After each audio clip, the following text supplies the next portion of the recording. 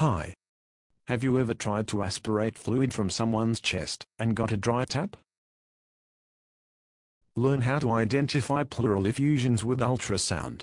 This will make life much better for your patients and for you.